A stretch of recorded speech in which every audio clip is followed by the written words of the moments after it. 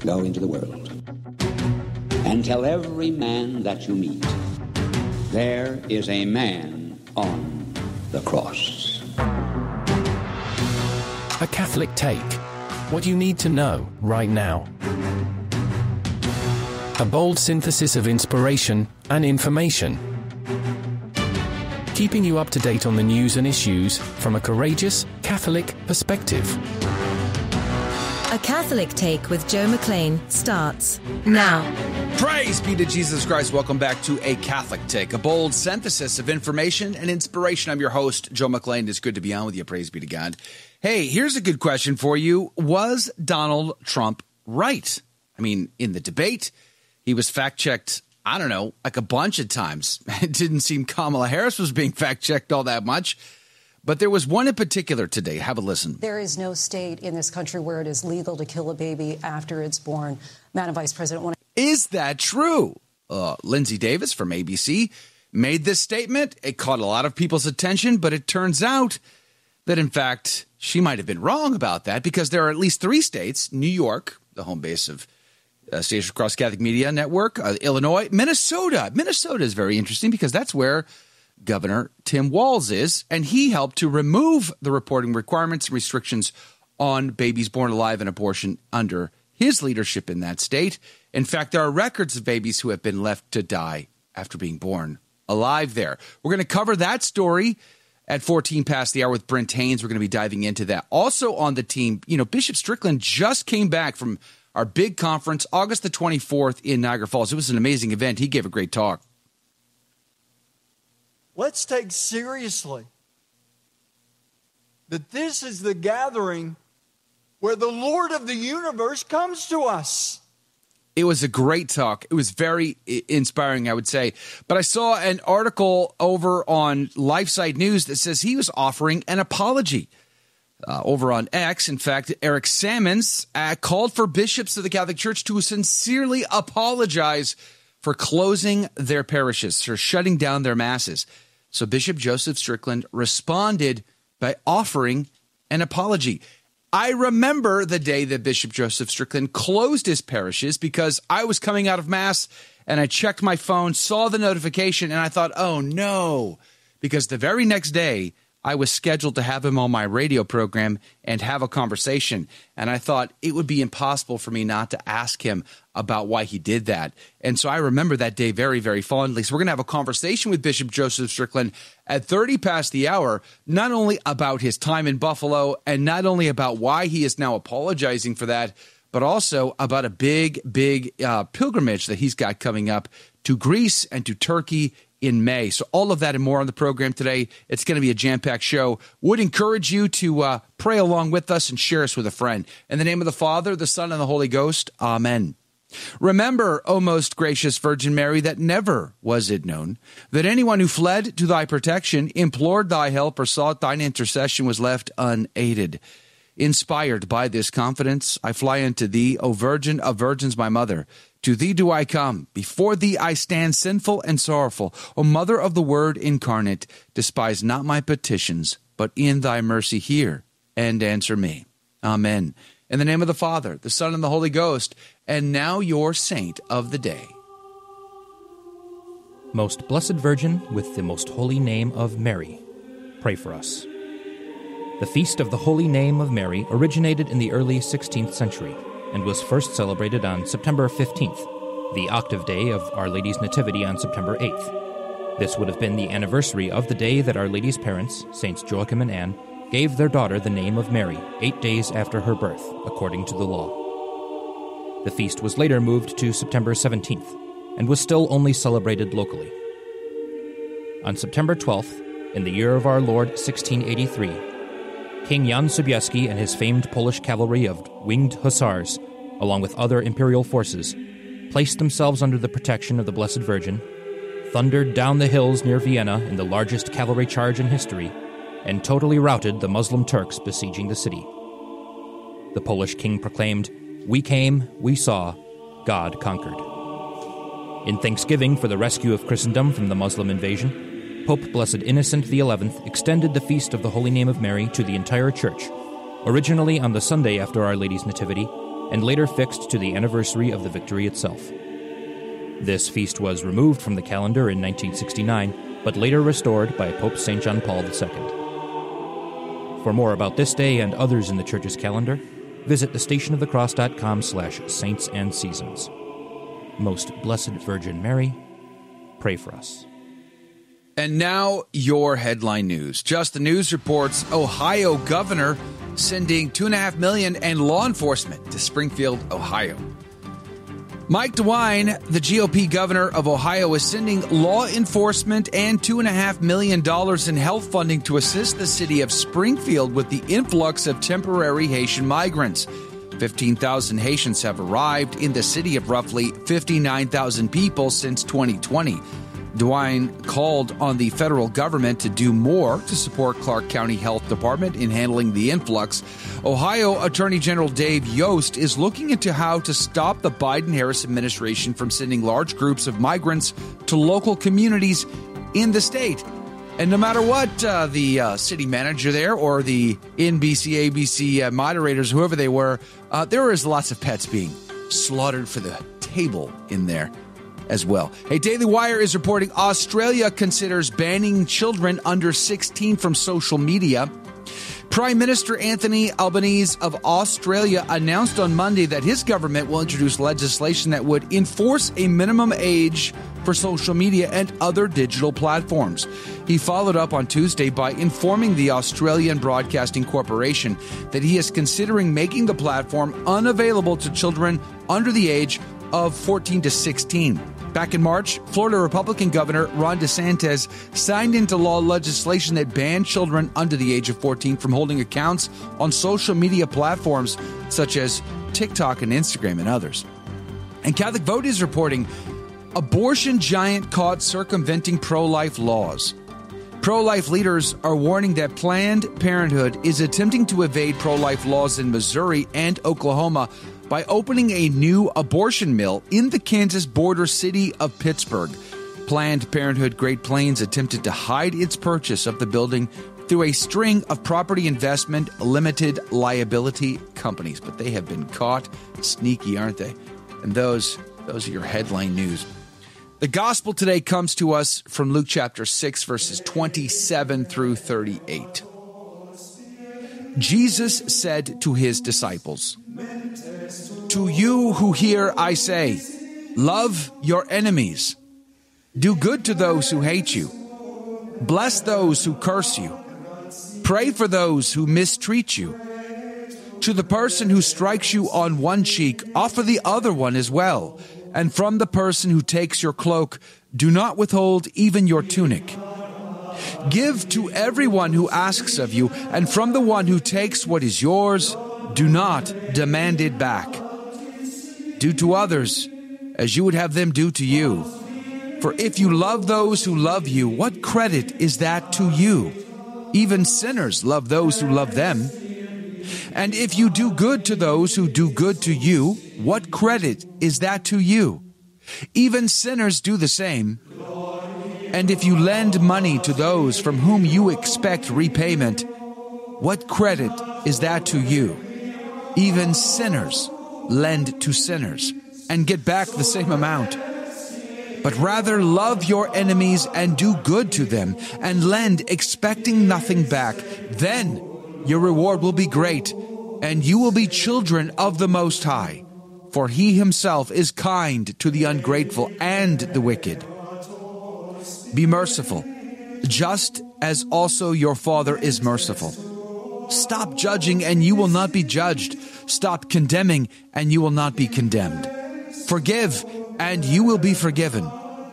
Give, and gifts will be given to you. A good measure, packed together, shaken down, and overflowing, be poured into your lap. For the measure with which you measure will in turn be measured out to you. The Gospel of the Lord.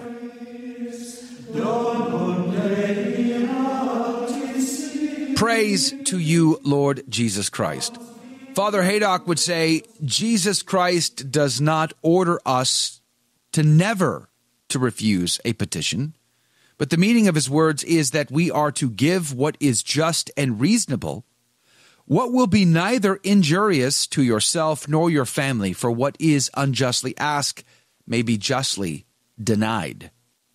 There are lots of, I would say, myths and misconceptions that are happen in this passage that people sometimes take. Like, for instance, saying, well, we can never ever judge for anything ever. Simply not true. You must judge. In fact, there are other passages in which you have to judge a person by the fruits and the merits of their actions, uh, by the fruit of the tree. They will be judged. In fact, when we go to heaven or when we die and we stand before the judgment seat of God is based on what we've done with our life. So, similarly, that's the ultimate judgment, but the judgment here on this planet, in this world, rests upon bishops and priests. The ordinary of the home, for instance, must judge the actions of those under them. So judgments must still happen in society. A judge must judge the people in front of their them in the courtroom, for instance. A police officer, a doctor. There's all kinds of examples where judgments have to happen. So to say that you should never judge again is simply not true. It's fake news. And uh, we're fact checking that today. St. Crispin would say, When thou hast seen God made man and suffering so many things for thee, dost thou still ask and doubt how is it possible to pardon the iniquities of thy fellow servants? Who has suffered? Who has suffered what God has suffered? When he has bound, scourged, endured, enduring the spat upon, suffering death? Yeah, we have not yet walked a mile in the Lord's shoes. So let us be cautious in our judgments of others. Let us be cautious in our condemnation of others. That is prudent advice, to be sure. Hey, coming up after the break, let's fact check the fact checkers. What do you say? I think there's some big news there. We're going to talk about it. It's coming up next. Don't go anywhere.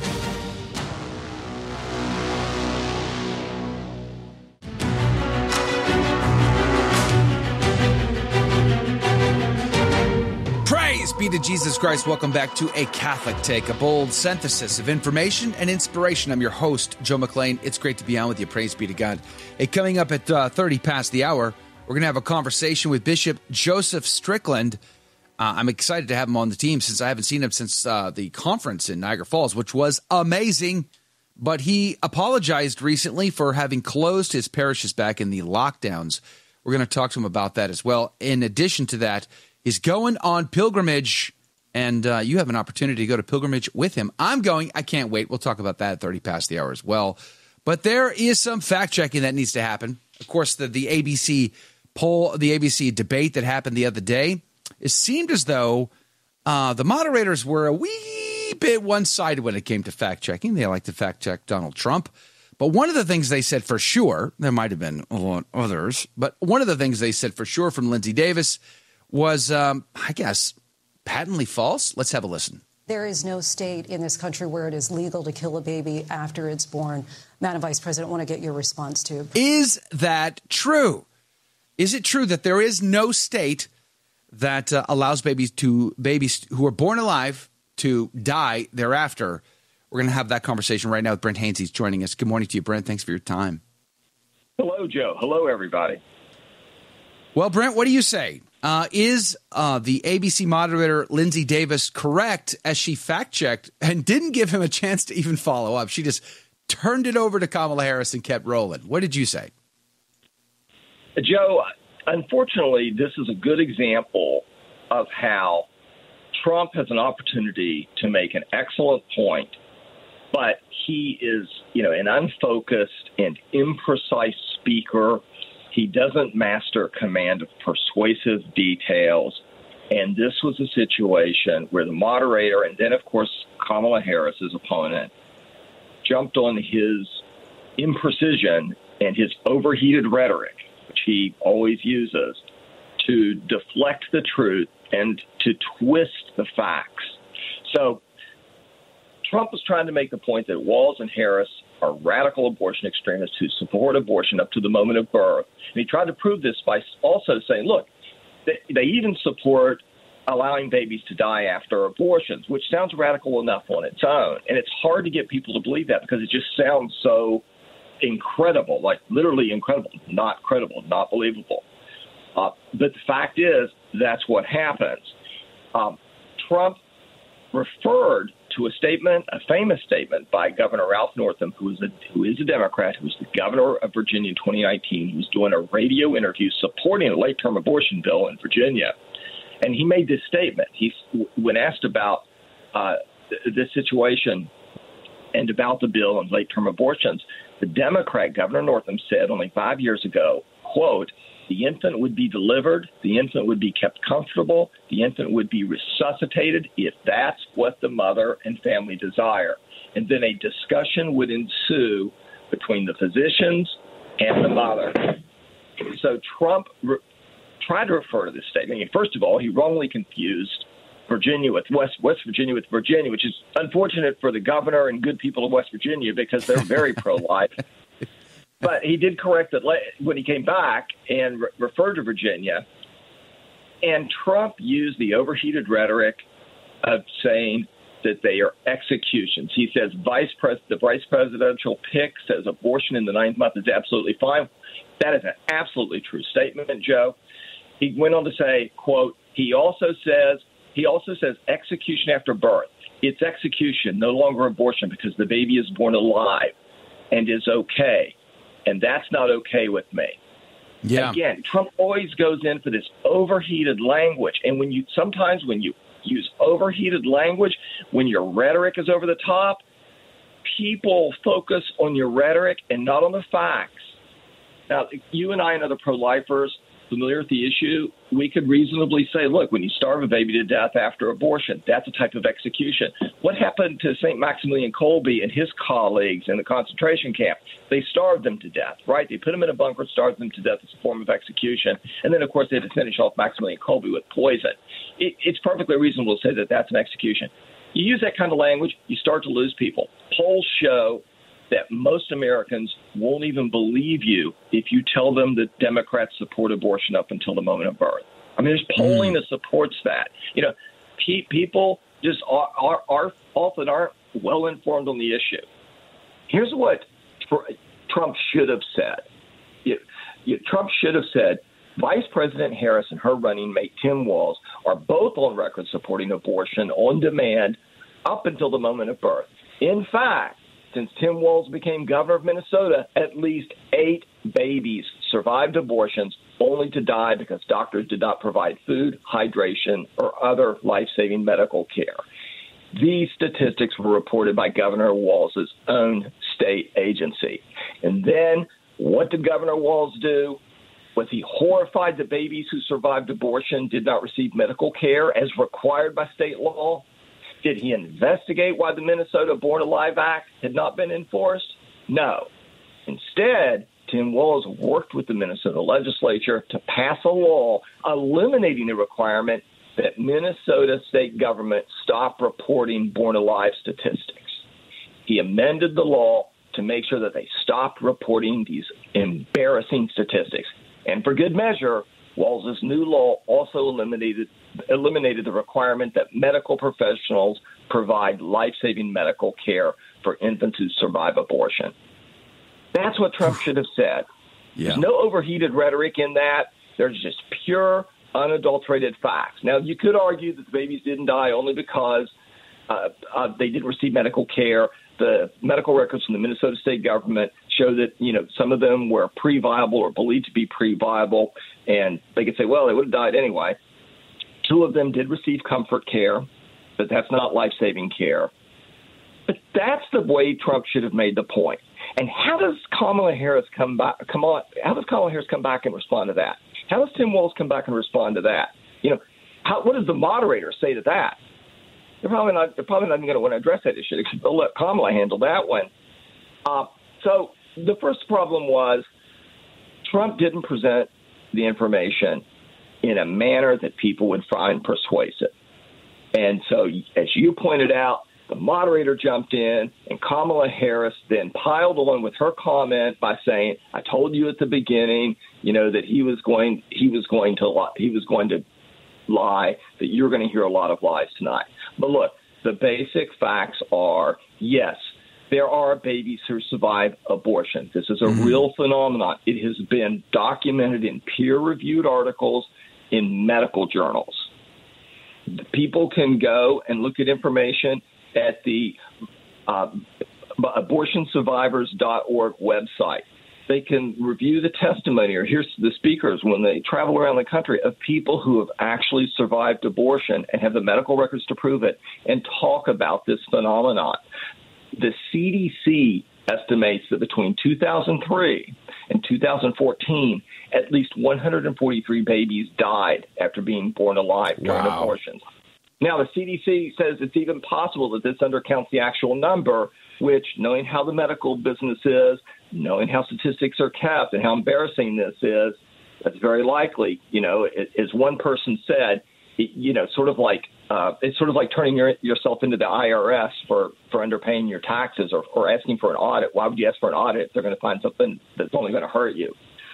Uh, and the CDC only counted the babies who died. I mean, there are those people out there who actually live. There are a few who actually live and then go on and have healthy lives, healthy enough to go, how healthy and happy enough to go around speaking on this issue. It's just that, strangely enough, the mainstream media never interviews those people, never talks to them, never presents their stories to the public. Uh, people who doubt this issue really should visit abortionsurvivors.org. The Charlotte Lozier Institute has a good summary of this issue. Uh, they have compelling information. People who say, well, that's just a pro life advocacy group, well, they don't have to believe the Charlotte Lozier Institute. They can look at the sources for the original information that, Sarge, Sar, that the Charlotte Lozier Institute puts on their website. They can go to the original sources and check, such as the peer reviewed medical journals. So, Joe, this is, this is a genuine issue.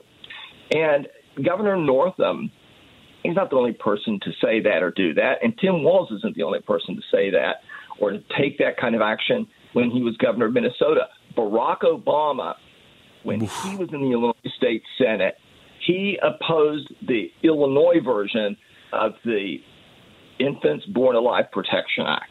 And that was a, simply a, a state version of a federal bill.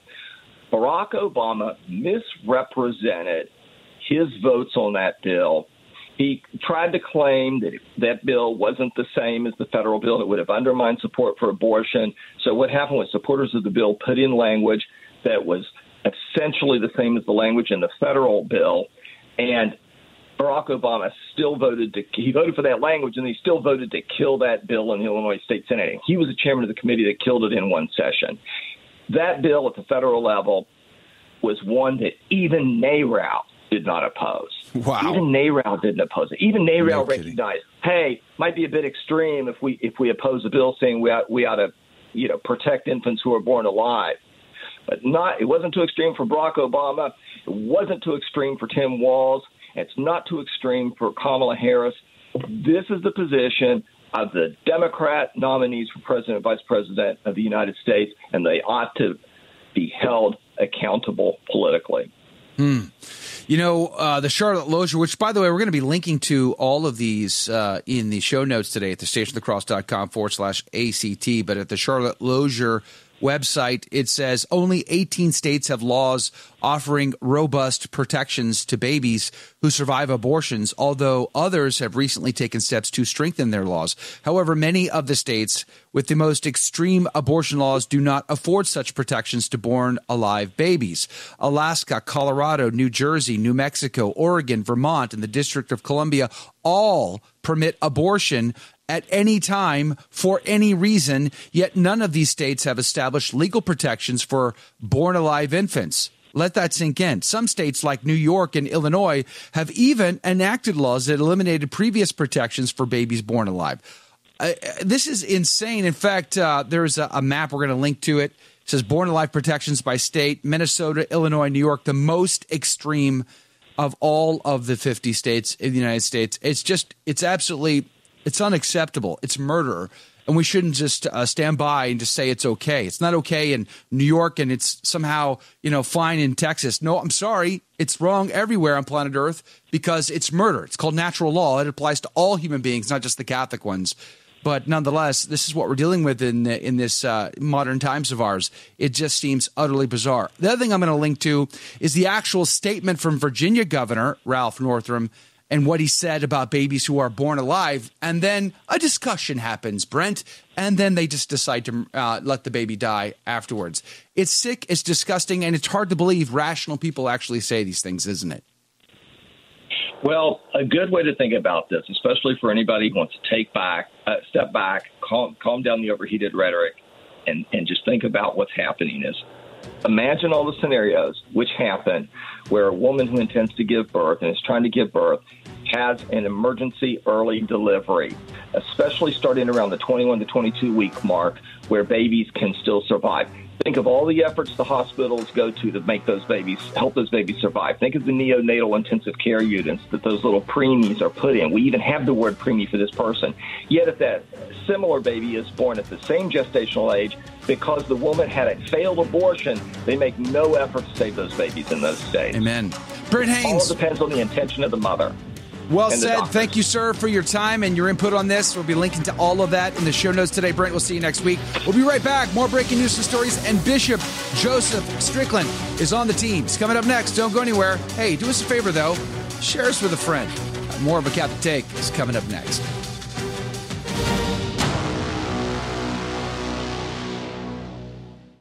Hi, Joe McClane here, host of A Catholic Take, and I am so grateful that you are on our team.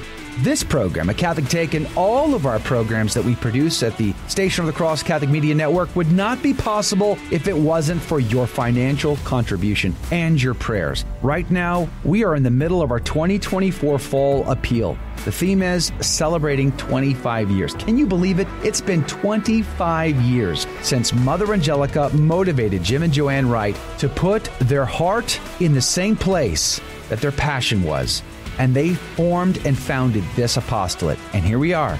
25 years later. But we need your financial contribution to keep going. We're going to be on the air September the 30th through October 4th, and we want your generous support. Whatever God puts on your heart, it's going to mean the world to us. Now, you can return that through the envelope that we mailed to you on our website, thestationofthecross.com, or by calling in when we're live on air. God love you.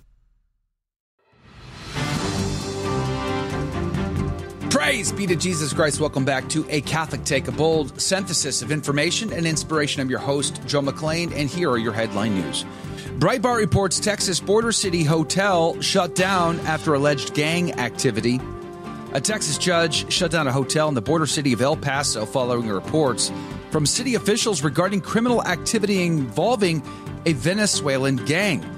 City officials complained in a lawsuit against the owners of the Gateway Hotel after responding to nearly 700 calls for service to the address.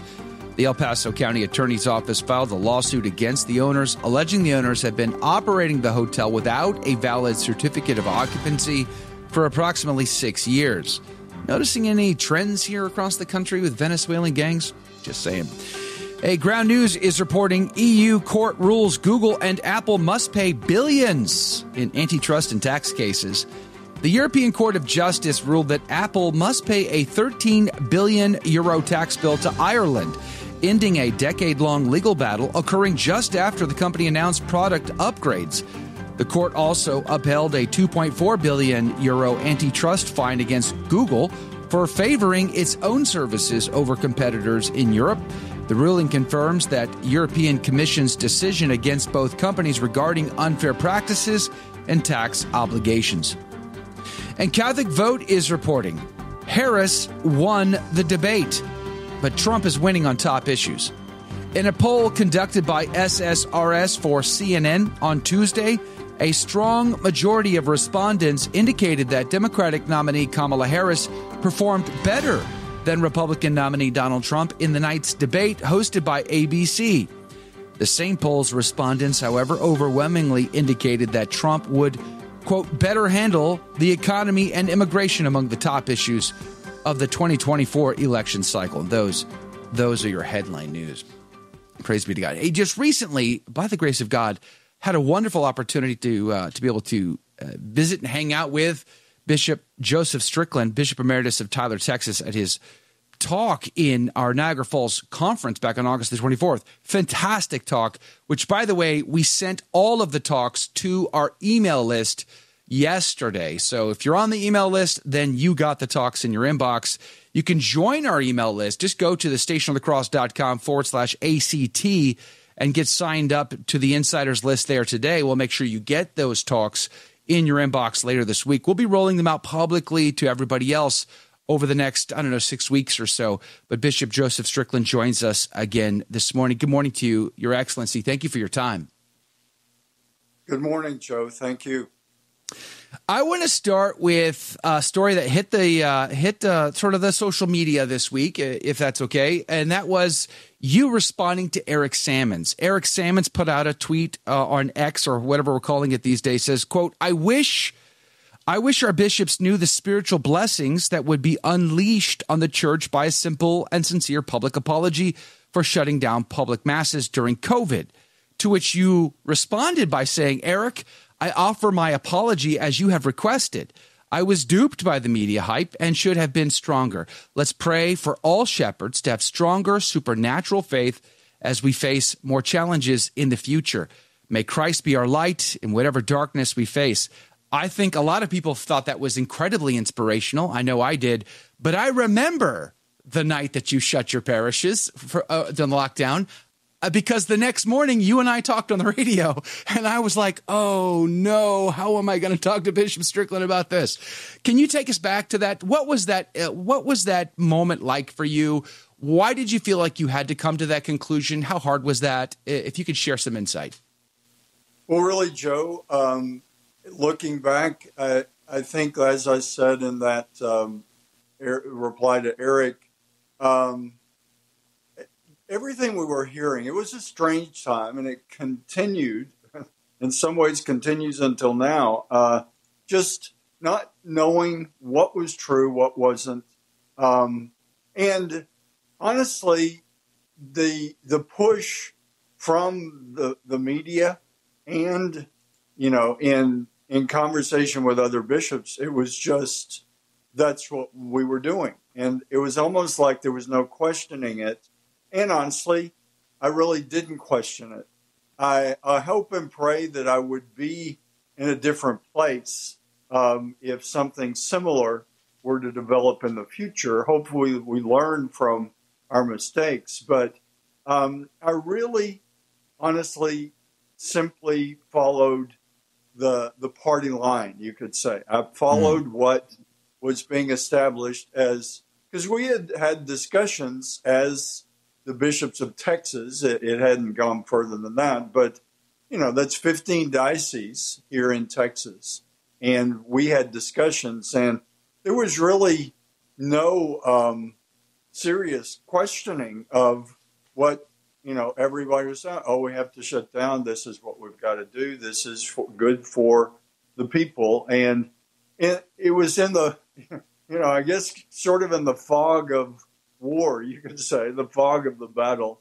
Um, I just didn't honestly st- take a step back and say, wait a minute. Um, what is our faith? What is going on? What, you know, what what are we doing? Um, and honestly, Joe, uh, and that's why I was willing to to say to respond and say I do apologize. I was a bishop, and I didn't say we're going to continue with having masses. I mean, who mm-hmm. knows how many people would have shown up? But because we're all getting the same media hype, and uh, officials in the church and in the government were telling us, "Oh, this must happen. This is unprecedented." I mean, you probably remember that word was used. I do. Like milk. I mean, it was like everything was unprecedented. Yeah. Um, I, I, remember Eric I, Sammons. I, I'm, I remember Eric Sammons. He had this map, and he was blacking out every state or every diocese that was shutting their doors, and it was getting blacker and blacker and blacker. And uh, and then you and then you of course announce yours, and it was like it was like a blackout at that point, and the ominous feeling of that it felt really overwhelming to, I think, the average layperson. And, uh, you know, they said we need 14 days to slow the spread. Okay, fine, fair enough. We don't know what we're dealing with. I'll give you 14 days. But when you're when you're six months later, you're starting to question the narrative, right? I mean, that's fair. Like we're six months later, we're like, I don't. At this point, what we need is supernatural grace. yeah, exactly. And I remember also you um, you you began to uh, you began to lead the way in many ways as far as bishops go around the country. Leading, you were out Eucharistic processions in the streets. You were praying for your faithful, and we saw. I think there was lots of other examples around the world of, uh, bishops trying to bless their diocese, etc. But may, could you tell us about how difficult was it to to continue down that path? I mean, at some point, I, I felt like the church needed to just say, "Hey, we tried it your way, but now it's over. We're going right back to the sacraments." Why, why didn't they do that sooner? Is it was it just like a a, a year later? There, there, were still dioceses closed. Why, why didn't they open sooner? Well, uh, complex reasons, I guess, to answer that. Um, each place was different, and I do acknowledge being in Texas. I was glad to be in Texas in the Amen. middle of all of that because Texas was less locked down than a lot of places. Um, so that was part of it. Uh, the, I mean, I remember sitting in my office and we were given some sort of a contact to see how many cases there were in, by county, and I was watching that religiously. Um, oh, wow! And I use that word very uh, intentionally because really, what looking back, thankfully, I you know I'm a sinner and I fail obviously, but I am a man of prayer, and I believe that mm. through prayer, uh, I started to see, as you were describing, pretty much immediately the the the discrepancy between what we were hearing and what we know to be the truth in Jesus Christ in our Catholic Amen. faith. And that's what inspired me. I, I guess it it's became sort of even in those two weeks, and certainly after, it became kind of a a whack a mole game, you know, which is a silly image, I guess, but that's what it felt like because it was like, well, maybe we could do this. You say, oh no, you can't do that. That's too many people. That's too close. All these different things. But we, one thing that I um, did decide from the beginning, our churches were not locked. The buildings were o- open for the faithful, and some people came. Praise God. I mean, and we actually had instructions about you can't be closer than you know all that arbitrary stuff that we can see now in mm-hmm. hindsight. Six feet apart. What does that do? You know, I mean, you're breathing. You're you're going beyond six feet. But anyway, uh, it was all just this um, artificially constructed idea of this is what you have to fear and this is what will protect you. It's like you know, it, some parodies really should illustrate that. You know, oh, they're telling us stand on one foot. You know, and yeah, I mean, it's just it was that kind of arbitrariness, but thankfully, because, you mm-hmm. know, I'm not a super intelligent guy, but I believe it was through prayer that I began to see that we need to resist this as much as we can. And that's when I decided to. I was in those days, I was going out because I, it occurred to me, here I am in my little chapel in Eucharistic adoration. And so I took that outside.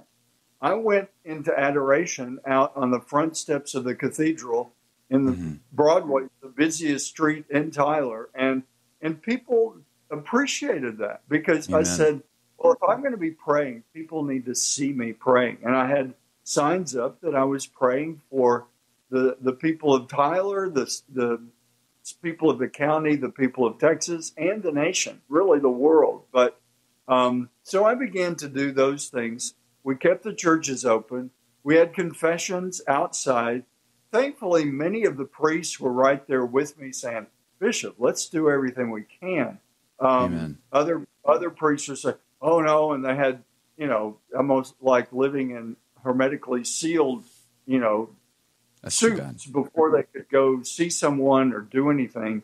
Um, so, I think, uh, thankfully, Texas, we were without uh, welcoming people back to public mass for six weeks, which was a long time. But as you said, some places are still not as open as they should be.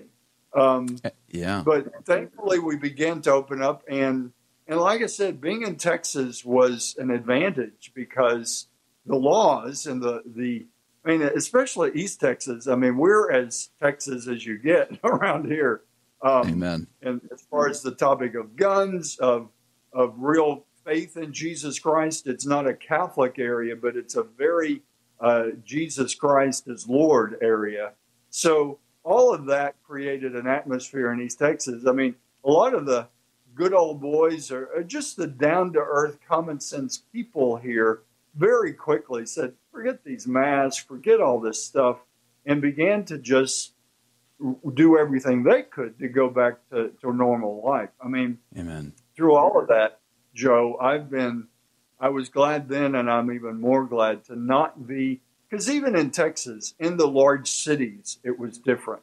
In Houston or Dallas or San Antonio, the lockdown was more severe. But in rural East Texas, I mean, you saw fewer people, you know, outside with masks, which was ridiculous, or driving around in their cars alone with masks. You saw some of that, but, but it was much less. So that supported an atmosphere.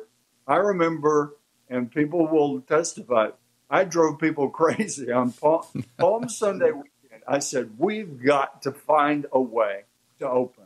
And I tried probably 20 different scenarios. And that, like I said, it was whack a mole. Every one they said, oh no, that's too close for people. And, you know, the big question was how to reverently receive our Lord in the Eucharist. And I just didn't figure out a way to do that, that the people that I was talking to say that could work. We're right at a break. Bishop Joseph Strickland's with us. Thank you, Your Excellency, for being on with us. I do want to uh, ask you on the other side of the break do you think that the bishops will go for another round of COVID lockdowns if that should ever come? God forbid, but if it did, would they lock their churches down again? That's a big question on a lot of our minds. But I remember that Easter Sunday when there was no public mass, the highest feast day of the year. No mass. We had to watch it on television. I cried. I wept. That was so hard. That was so hard. More on that with Bishop Joseph Strickland. Plus, he's going on pilgrimage, and you could go with him. We'll talk about that as well coming up after the break. Be right back. Don't go anywhere.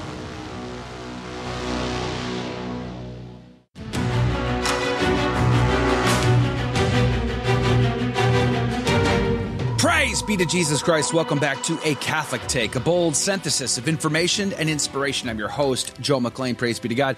Hey, can I just say thank you to our sponsor, iCatholic Mobile. If you got to have a cell phone bill, why not make sure that that cell phone bill helps to support Catholic organizations like ours, helping us to stay on the radio, across our radio network, on the live video feeds, our podcasts, and so much more.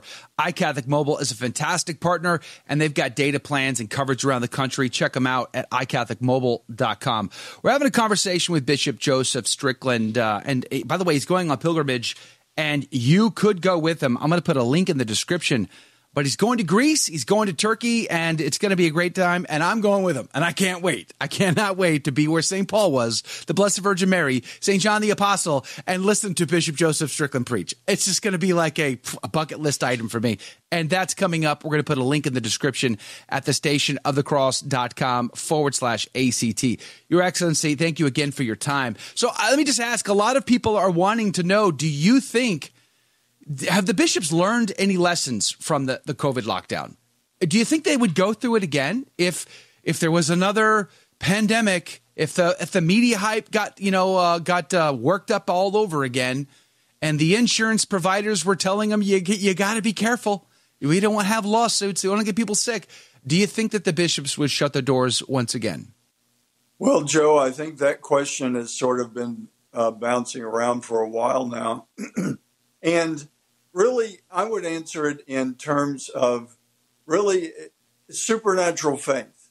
And it's like, well, what's that about? Um, but really, uh, in my own journey, and I think for the bishops, I mean, I would say if if another similar kind of lockdown approach were to happen, um, I think more bishops would resist, but Mm. some would be the would be condemning those who were resisting. I mean, I can imagine the scenario already uh, because some of that happened even with the the past pandemic, um, if that's really what it was. But um, it, it's funny because before I was removed, and it, you know, people have been asking the question for a while, and I remember saying, I mean, people were contacting me and saying, Bishop, if they do lock us down again, will you do it? And I said, they'll have to lock me up before I will lock things Amen. down. And so, you know, maybe that was overheard. I don't know. But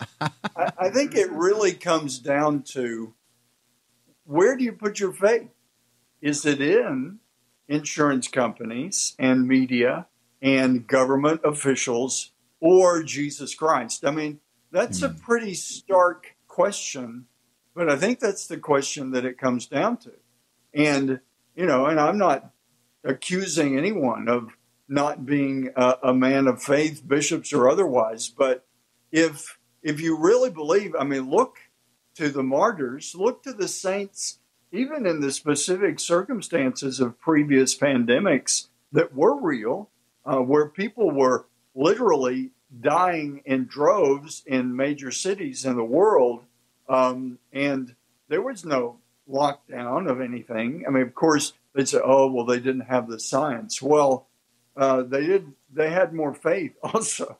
Um, So I think it would really be a question of that, and I do believe there would be more bishops that would say, "We're not doing it," but I think there would be some that would be really in lockstep with the officials saying, "Oh, we must do this," and there would be a lot. There were a lot of divisions over all of that stuff, as we remember. I, I remember people in, in terms of communion. People say, "Oh, you can't possibly offer people communion," and other bishops were saying, "I'm going to allow this," and it would be more of that. But I hope there would be many more that would be uh, keeping things open and trusting in the Lord.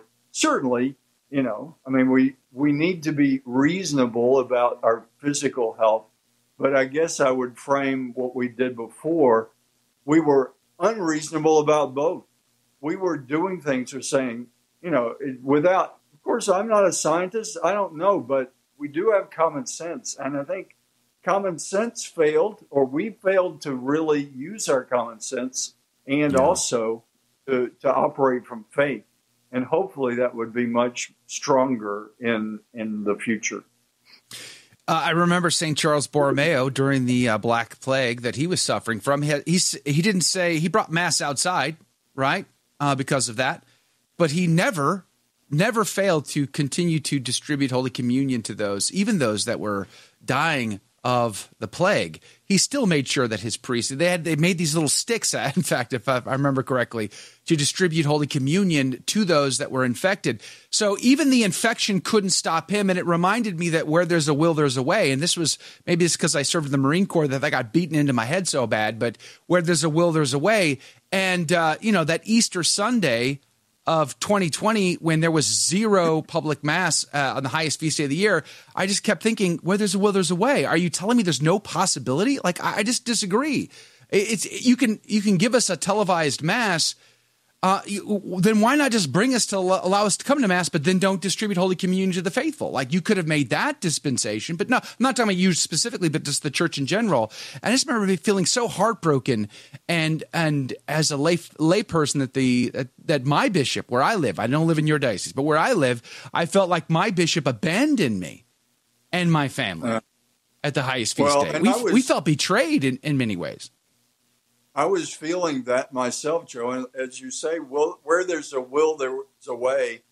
I was trying to use my will to find every way I Amen. could. On Thanks that doing it. Easter Sunday, I felt terrible. Uh, and so I did, you know, it was very limited, but symbolically, and for those who were able to benefit, I know it had a huge impact because to to demonstrate that no, I haven't abandoned you. We're just trying to handle this the best we can with what information we have.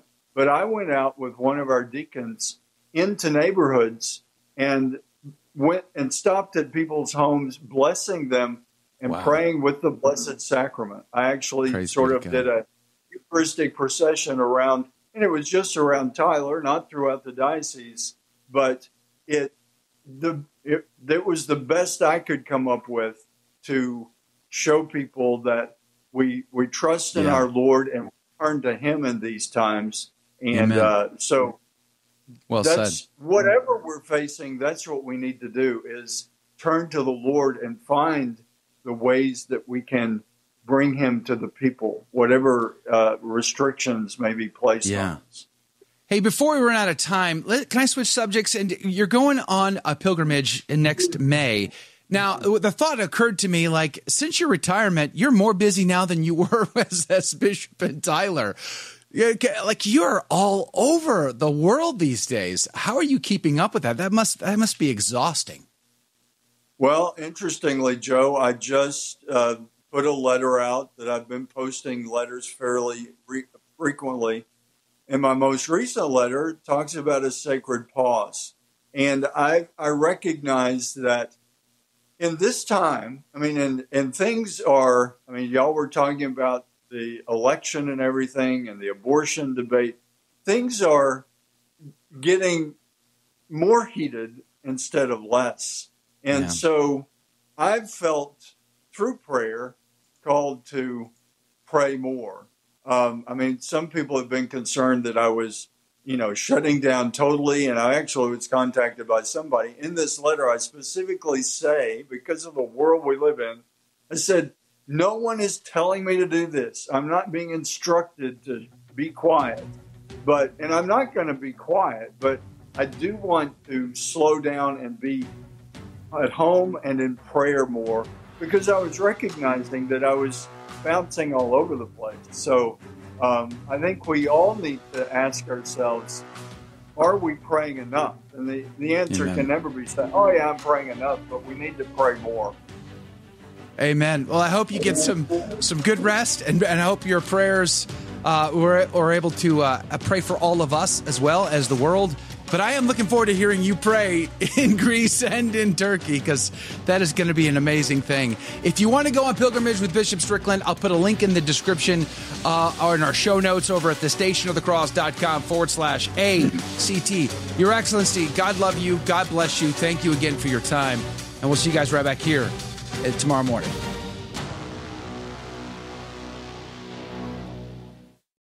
Catholic radio has just been a lifesaver for me. I still listen to it every day. I start my day with it. I listen to it all day long as much as I can. I am very grateful for it. It's just an amazing thing to have as I am new to Catholicism. Obviously, it's not only helping me, but it's helping so many other people on their walk. Thank you. God bless you for iCatholic Radio. It has changed my life. Donate today at thestationofthecross.com. And we're back. Welcome to the after show, everyone. And I believe His Excellency Bishop Strickland is still on with us. Thank you, Bishop, for for hanging out with us. I also wanted to ask you about the talk that you gave in in um, in Buffalo, which where I thought was amazing. Um, but I got to say, it was when you and I and I actually went. I think I went out to and sat in the the audience when you said this because it struck me.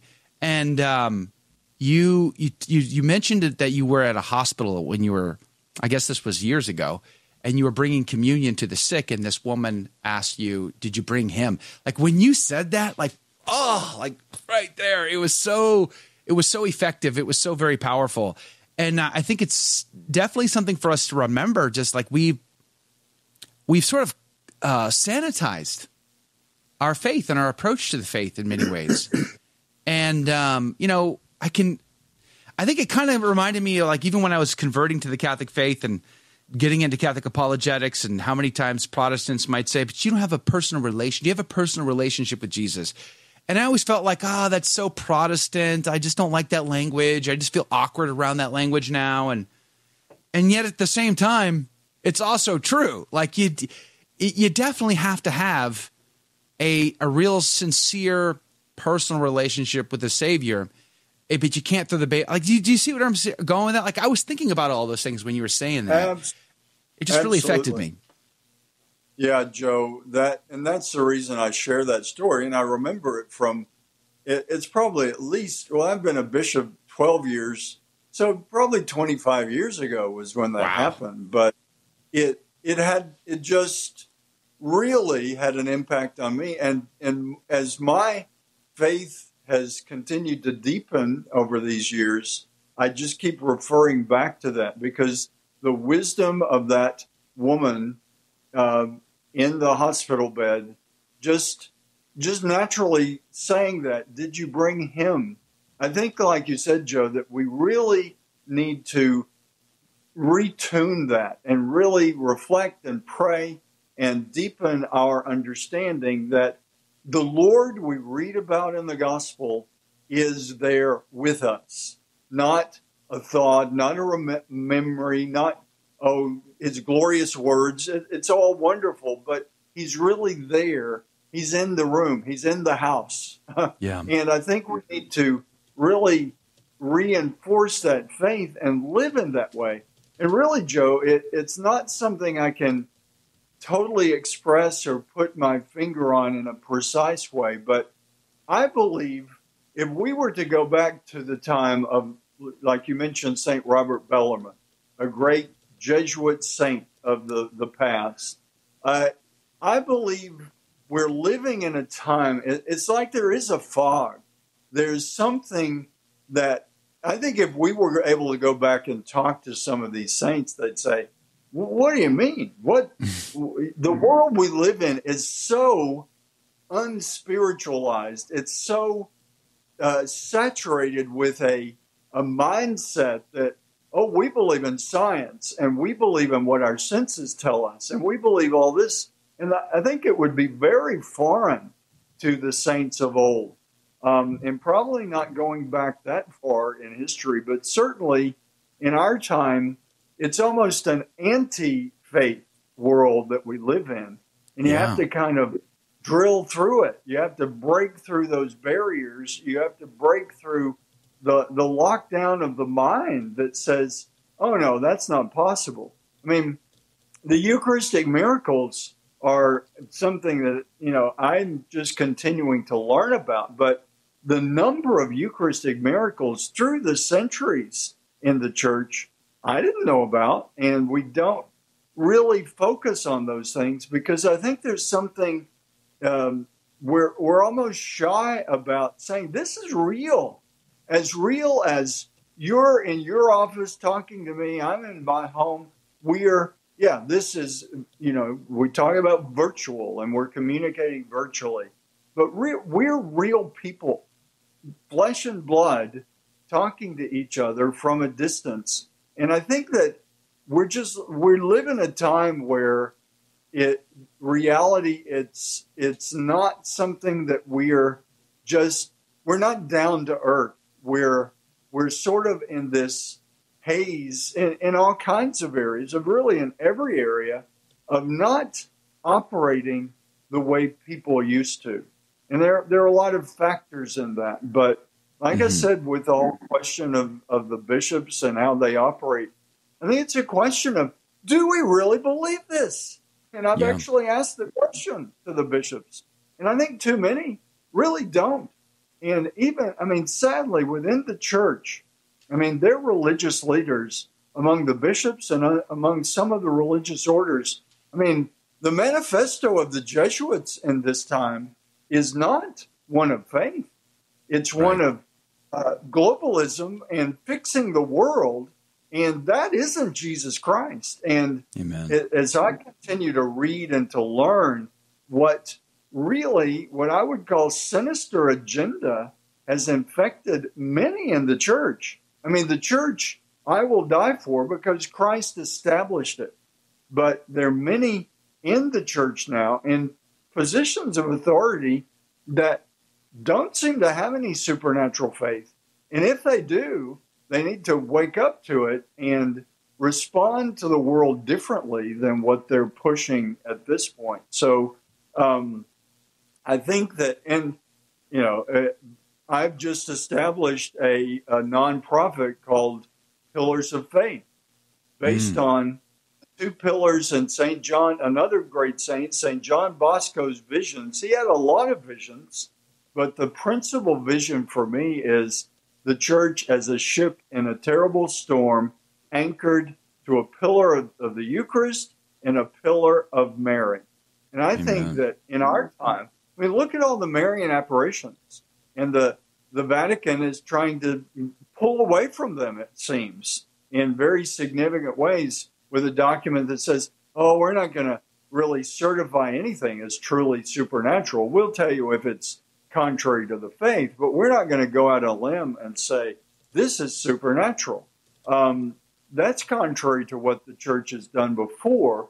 So those two pillars, and I mean, the Eucharist and Mary, especially in her Marian apparitions of the past 500 years at least, um, they tell us look with eyes of faith at your world, believe in the supernatural truth that is the truth that God has revealed through his Son. I think we're in an age that is antagonistic toward a lot of that. But as Catholics, and I think that's why people are antagonistic toward the Catholic Church, because we yeah. stand for a way of living and a vision of life that says all of this globalism and one global community is not Jesus Christ. And to pretend that science will save us is blasphemy when we know Jesus Christ is our only Lord and Savior. And, you know, there's so many things that are being said and the way people are operating, even within the church, is like the church is not really who she is. It's just sort of a, a, a an organization of human beings to help us feed each other. Um, if we leave the Lord out of that effort, yes, we need to feed the poor. We need to help those who have don't even have their essentials in life. But that has to be motivated by faith. And if yeah. that the only motivation is feed the people and you leave out Jesus, then you're not feeding the people really at all. Right. Yeah. Yeah, for sure. Hey, let me give some shout outs here. There's so many people hanging out with us today. Praise be to God. Damon, good morning to you. Mateus, our good friend from California, praying for those fires in California. My heavens, that looks terrible. Pray for all those uh, that are in the path of these fires. They're they're pretty bad. James sixteen eight nine seven. Good morning to you, Jen Nugent. Good morning to you, Paul, our friend from Buffalo. Good morning to you. Praise be to God. PC Pedro. Good morning, T Storm. Uh, Yvonne and Gus. Gus, good morning to you, Gus. Good to see you chatting over there on the on the Telegram side. Uh, good morning to you. Praise be to God. Thanks for hanging out. Jane Steves. Good morning to you, Jane. Thanks for being on the team today. Mike Kay, our good friend uh, from, from Virginia. Praise Jesus. Eileen, good morning to you. Anna, good morning to you. Thanks for hanging out today. Sharon is here. Praise God. Sharon, always great to see you. Thanks for doing it. I cannot actually see Rumble. For whatever reason, Rumble is totally blocked for me today. Like I'm getting like an error message. Yeah, give us a shout out. Okay. We've got, oh my goodness, we've got like of all days to miss, Joe, there's things going on in Rumble. uh, it's, it's, of the devil. Go away, Satan. Bother somebody else. We've got uh, uh, Cherokee Woman 20. James 16897 is over there. Uh, Sci-Fi Mike is over there. Uh, Sci-Fi Mike, if you didn't get the email, but you are on the insider email list, just double check that you didn't miss that it was from the Station of the Cross and not from Joe. I'm going to send it again yeah. this Friday to the ACT Insider list. So there be on the ACT Insider email list, and you'll get it again Friday. Yeah, so people people should should be able to get it where wherever they're signed up. Uh, God's Child 12, good morning. Peace be with you as well. And uh, Gen Gen 221A1 says hello, hello. Uh, then is now a monthly supporter. Uh, hey, thank you. Sends a thank you saying hello, and then sends another thank you saying hello. So well, hello and good morning and thank yes, you and thank you Praise very much for uh, for those uh, for those generous uh, uh, yeah um, thank yous for us. I don't know what they're called. I appreciate Rumble, that.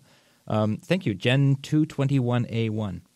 I, I I keep wanting to say two twenty one B because that's from Sherlock Holmes, but. Uh, anyway, I think that's everyone on Rumble, Joe.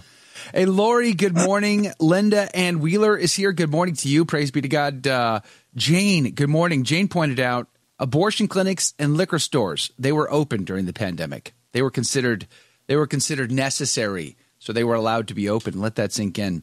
Uh, Timothy, good morning to you. iCatholic Mobile is on the team. Again, great sponsor of our apostolate. Check them out, iCatholicMobile.com. Don Franco, good morning to you. Praise be to God says, Blessed blessings to you all. That Easter Sunday during COVID with just the Pope celebrating the Holy Mass was surreal. I sensed something wasn't right at that point. Yeah, that was definitely not right. That's for sure. Patty, good morning, our friend from the Hill Country. Junior Barr, our friend from West Texas. Good morning to you. Rachel Jordan, Jane again. Uh, Don Paddock, good morning to you. Mimi is here. Good morning. Praise be to God. Also from the Hill Country, by the way. And Daniel Hyatt, our friend from Boston is here, is on the team over on Facebook. Uh, I see there's a lot of people hanging out on, on YouTube.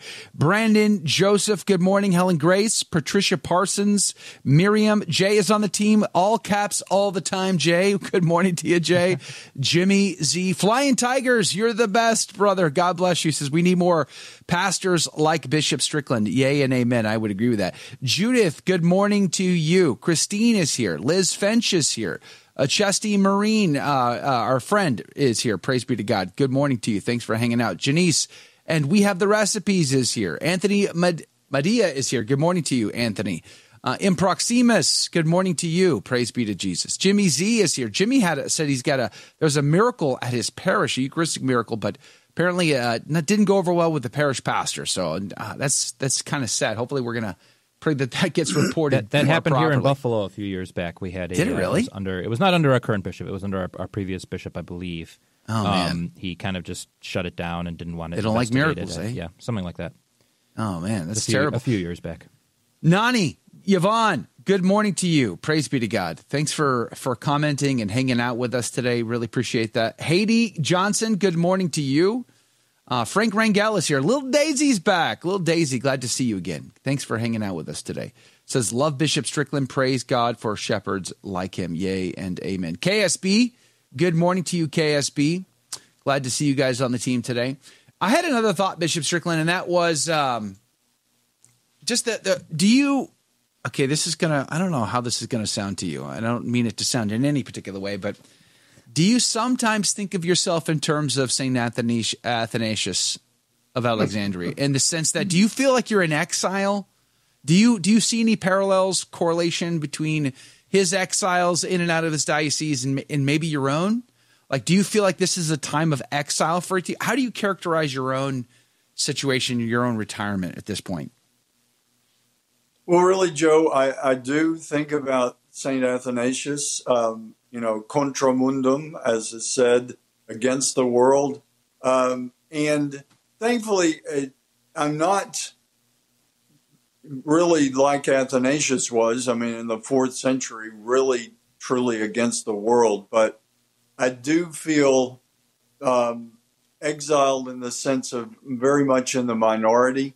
Um, but as I'm sure with uh, Saint Athanasius, uh, I feel very much at peace with that because it, it it's almost like we're in a time when you know whether you are following Christ or not because the world's not, and you know with so many different issues, we we have to be contra mundum, um, and sadly the church isn't as contra mundum as she should be. She is going with the world Mm-hmm. rather than preaching to the world.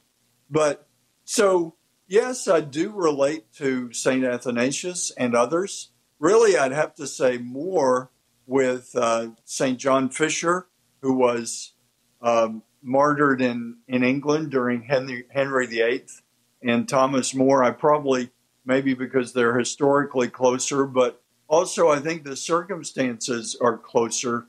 Um, that because definitely uh, St. John Fisher was, I mean, he was beheaded. I wasn't beheaded, but I was removed in uh, for for similar reasons for not going along with the the party line in a sense, not really acquiescing to this new way of, of talking about a new gospel and we're changing things and what was immoral you know, a few years ago is not immoral anymore.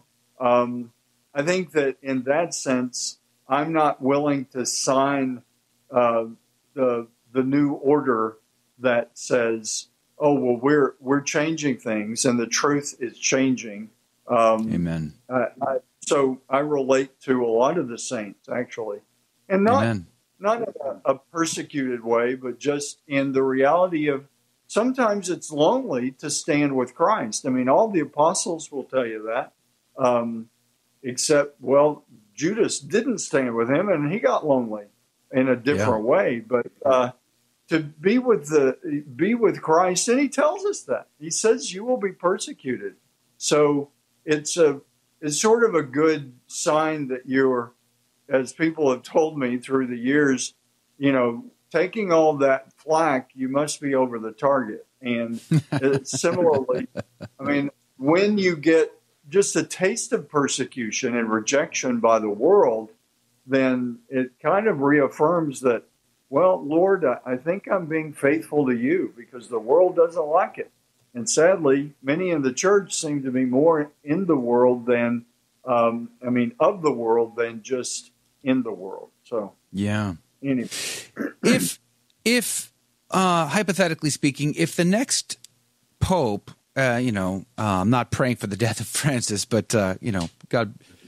Anyway, if, the, if, if in the next pontificate, that pope should, should call you back to active, uh, to give you another diocese, would you would you accept that? Would you would you be would you be open to that? Sure. Um, I, you know, who knows what the future holds, but um, yes, I would. You know, I I tried to be obedient, um, and I know some say, "Oh, you're not obedient," but we have to ultimately be obedient to God and to Christ and to the teachings that are the the perennial teachings of the church but the Pope had the authority to do what he did, and I was obedient to that. And if a new Pope were to change that or, or have a different direction, I would, you know, do my best to be obedient to that. Um, well, it, it's kind of strange to be able to be sort of in a position of, well, being obedient to Christ isn't just as solidly being obedient to the Pope as you would hope. But the first has to be to Christ, and that's what I operate on. Um, but you know, if a future pope, if a future pope exiled me further, I would um, feel obliged to be obedient. Again, balancing it with, is this also being obedient to Christ? And and I think in the mystery of things, Joe, as you said, I've been traveling, I've been speaking a lot. I think that many hoped I would just disappear once I was no longer Bishop of Tyler. And really, the opposite has happened. Um, and I believe that is, is God's plan. And, and trying to live God's will is ultimately what all of us have to do. Yeah. Amen. Uh, Brandon Joseph, what are you doing in the chat box today, brother? Like, what is going on with you? I can't even. I, I'm only half seeing it, so I'm not even sure uh, what what you're saying. Are you trying to deny the true presence of Christ in the Eucharist? Is that what's going on there? Uh, I would pray for your soul if that's the case. um, but I, am only half seeing it, so I'm not 100 percent sure. But you're asking us to read John 6:35 real loud, you arrogant, prideful bunch. Okay, uh, fair enough. I've got John 6:35 available to be read. Let's do that. Uh, says, And Jesus said to them, I am the bread of life. I am that cometh to me shall not hunger, and he that believeth in me shall never thirst. I love that verse. I love the entire chapter. In fact, this whole chapter was so pivotal in my giving my heart to the Catholic faith because I didn't. I had strong problems with uh, the Pope, Mary, and the saints, but it was the Eucharist that was the hinge pin for me. So I, like all geniuses, I didn't believe my English translation, so I simply looked up the original Greek of John chapter 6. I just simply found a translator online, looked up every single word in the entire chapter. And guess what? My English my English translation was pretty darn good. Like who knew? Like I just should have just read the English. But nonetheless, uh, I needed to know whether or not Jesus was being literal. So I, am not 100% sure what the argument is going on in the in the chat box, but I, I love John, uh, John chapter 6, so I'm not sure what's going on there. Hey, along the narrow way, good morning to you. He says, I am Catholic because of John 6. Yay and amen. I like that. Um, Mac Thompson is here. Praise be to God. Uh, I love the fact that you guys are hanging out. Edwin Laverty, John 653. You're throwing out John 653 says, The Jews therefore strove among themselves, saying, How can this man give us his flesh to eat? Then Jesus said to them, Amen, amen, I say unto you, except you eat the flesh of the Son of Man and drink his blood, you shall have no life in mm-hmm. you. And he that eateth my flesh and drinketh my blood have everlasting life, and I will raise him up on the last day. I mean, it just like it hammers the point, right?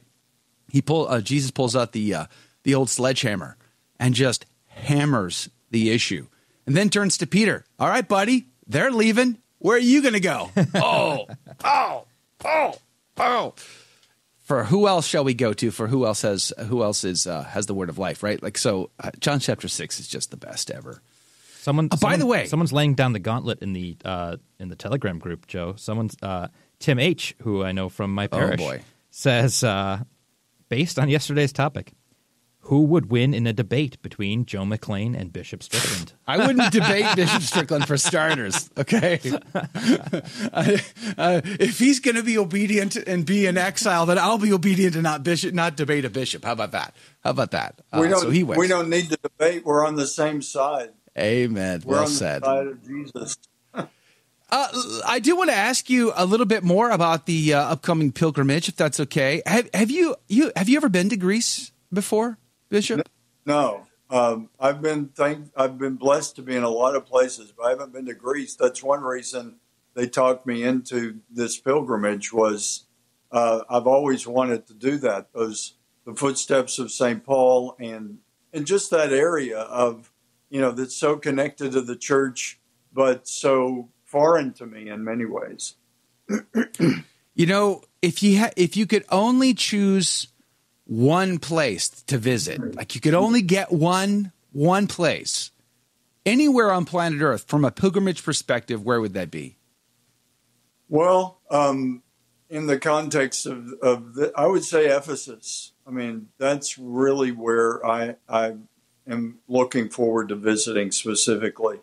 And I, I, I want to learn more about it. I know enough to know I, what I don't know, I guess, and what I do. I want to learn. Um, I mean, there are many places uh, that are attractive to me to, to visit, but Ephesus would be one place that uh, I think I can learn a lot and get in touch with the those earliest developments of the church in in Ephesus and around that area. I've been saying that if I could only choose one, in fact, uh, when Ellen reached out to me to ask whether or not I'd be interested in going on this pilgrimage, and I'm like, of course I want to go on a pilgrimage with Bishop Strickland. Yes.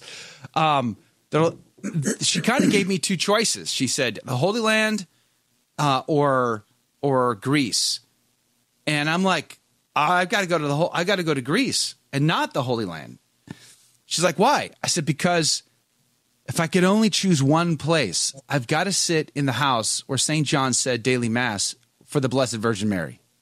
Like, I just have to, like, for whatever reason, I feel incredibly drawn to that house to sit there, to just be present there and realize that, I mean, how did that actually work? Did like they get up in the morning, you know, and, and, uh, you know, St. John, they're praying and then the Blessed Virgin Mary's like, uh, what time is daily mass today? I think we'll do it at sunrise. You know, it's like, just like the thought of the, the ordinary daily routine of these two, of the Blessed Virgin Mary, Queen of, the Queen of heaven and earth and the, the one apostle who stood at the foot of the cross. It's just, I don't, for whatever reason, it's it, I have to go there, and I, I I pass up the Holy Land to do it, and then of course to go to Patmos, and to be there where Saint John received the vision of the apocalypse.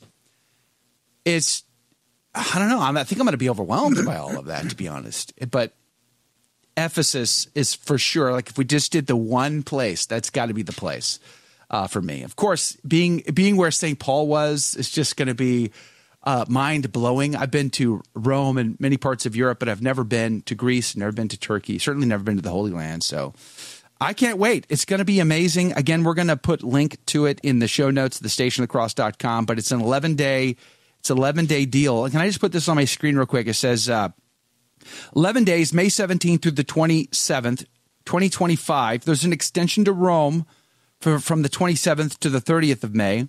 And uh, I've been to Rome a couple of times. It's it was I was in Rome last time. I was with Bishop Strickland, as a matter of fact. And you can find all of the itinerary of what we're going to be doing. There's a cruise, the Aegean Sea cruise is part of it.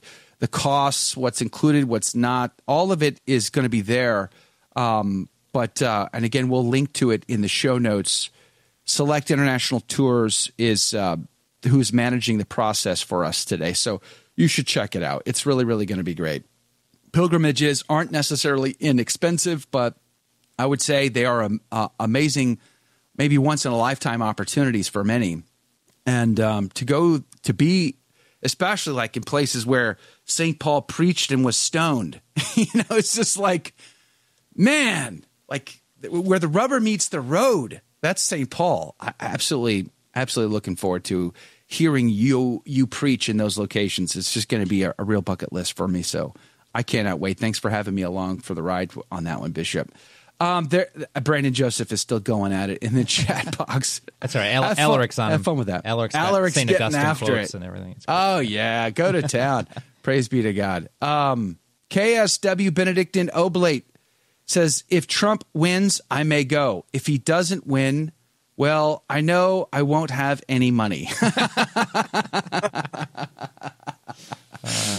Uh, well, there's that. There is definitely that. God, God be with us. What is your thoughts uh, when it comes to like the political atmosphere that we find ourselves? I mean, did you ever expect that in this election cycle, uh, in vitro fertilization would be a major talking point in the debates, and yet, like the vast majority of Republican so-called conservatives are embracing in vitro fertilization. Like that is like what that's crazy to me. It feels like it's even more obvious now that the choices we are presented aren't good ones. What do you say about that, Bishop?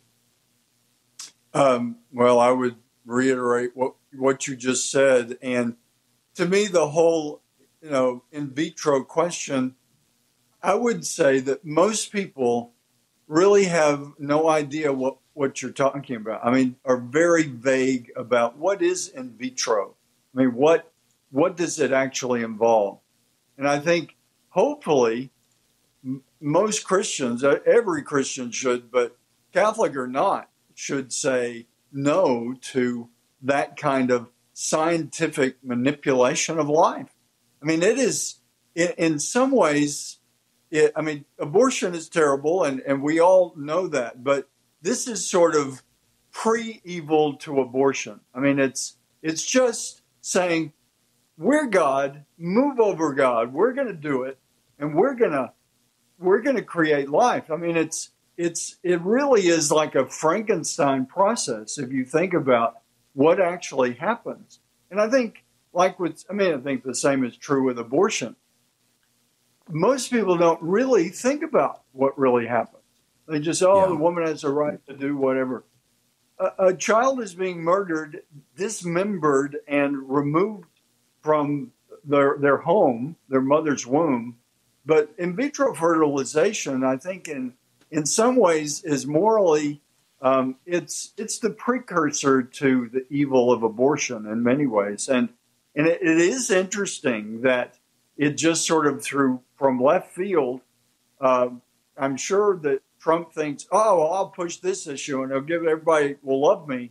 he probably had no idea what it really is and what he's really talking about. And um, I mean, he says, oh, we love babies. We need more babies. Well, I hate to tell him the, the percentage of babies that die through this are much more than the ones that are able to survive. And, and yeah. I think the bottom line is God is the author of life. And in vitro fertilization says, no, he's not we'll take care of this. We'll manipulate it the way we want. The manipulation of life is is diabolical. You know, I get the sentiment for couples that are struggling to conceive and have children. They're really they're really open to life and they want to have babies, and so so I get that I get that sentiment. I get that emotion that they're struggling with. But I think the problem is we too often use emotions to justify our choices. You know, Tulsi Gabbard came on to ABC News right after the debate, and she brought up this IVF issue, and she was like, "Well, my husband and I were we were struggling, so it was really helpful to us." And it, that may be that may be a sincere thought, and I get that, but at the same time, we can't allow emotions to to dictate you know these these issues because reason has to control those emotions and it doesn't. And, and it just boggles the mind how many of these so-called conservatives are embracing things that are absolutely contrary to natural law. Uh, ivf abortion a marriage between a man and a woman where is the fight to defend marriage? Where is the fight to win back marriage between a man and a woman? It feels like the Republicans, as well as the vast majority of bishops in America, have just let the issue go. Oh, well, Obergefell, nothing we can do. We're just moving on now. Hey, by the way, there's a second collection this week for, for this, that, or the other thing. It's like, uh, wait, stop. These are the foundations of society, all societies, not some societies, all of them. So, like, I have to think that's diabolical confusion upon mankind. Do you think we're Oh, at I- that stage? I agree. Yeah. And really, as you're talking, Joe, what occurs to me is the question certainly we have compassion for a couple that is childless and wants children, but the, the question needs to be for all of us in every aspect of life what is God's will? Yeah. Is it God's will that we have children? And that seems to be not in the conversation with these Right. couples. Maybe it's not God's will that you have children, but people say, oh, well, you know, how do you know? Or whatever. But that's what we need to be seeking. And when we decide our will is going to override anything, like you said, just common sense or natural law. I mean, there's so many things that are part of our society that, you know, has nothing to do with natural law. It's just, it, it goes back to, I mean, I think the danger of science, and I love science, and the church is, is woven into science uh, historically, but it, with science, if you can do it, ultimately you're you're probably going to. And there's so many things that we can do, but we never seem to ask, should we do this according to the will of Almighty God? Because ultimately it all comes from and returns to Him. And if we're living contrary to His will, then we're in trouble. And I, I think that things like IVF are just examples of the question even isn't even asked. Is it God's will that you have children or God's will that you don't have children? We're not asking those questions. It's just like, oh well, we want children and we we want to love children, which is great. It's better than just saying, well, we're going to have cats and dogs and and treat our pets like children, but to to not ask the question, what is God's will here?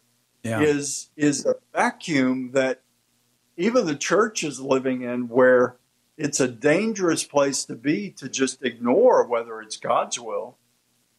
Yeah, we've made commodities out of kids. Just think about how many uh, of these ch- children that have been adopted into same-sex couples, for instance, because they, you know, they feel like they're entitled, they're demand, they're demanding this, and and we've acquiesced that ground as well in public society. I think it's, you know, it's one of those inherent flaws in our system of government.